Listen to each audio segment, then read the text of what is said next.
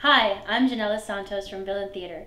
Before you watch this next sketch, check out our GoFundMe to support Villain Theater's big move to our own space.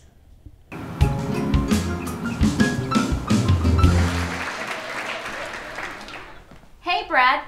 I got you something from the store. We said no presents until Valentine's Day, Karen. Oh, I couldn't help myself. It's a big one. Please? Okay, fine, but just this one. Here. What is it? New Deke? What's this? No, it's new dick. I don't get it. I got you a brand new dick.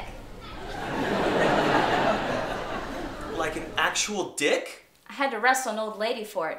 Let me tell you, she really wanted that dick. What? She's probably a widow or something. Why did you get me a new dick? Well, My dick is just fine. is it? Yes. But is it? What are you trying to say, Karen? I'm not sexually satisfied, Brad. You've never complained about my dick before. Well, when I married you, I was kind of stuck with it and I didn't want to complain. But now that they have new dick, I don't have to suffer anymore. You've been suffering my dick? That's impossible. Everyone at work loves my dick. Yeah? Who? Stacy from accounting. Really? Are you sure about that? Stacy, what are you doing here? When I heard the news, I came over. In fact, we all came over.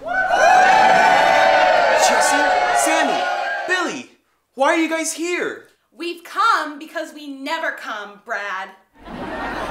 This is an intervention. We all hate your dick, Brad. Billy, you're always a top. I'm a bottom, Brad. Do you know how stressful that is? Brad, I called them over as soon as I purchased this. Now, I'm fine with the infidelity, the sexual fluidity, the fact that you like to be dominated by strapping men. But what I can't handle, no, what we can't handle, is your dick. But what's wrong with it? It's just a bad dick. We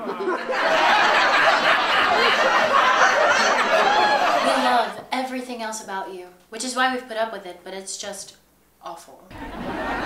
There are literally no redeeming qualities about your dick. I'm not gonna lie, this is the worst moment of my life. View opportunity.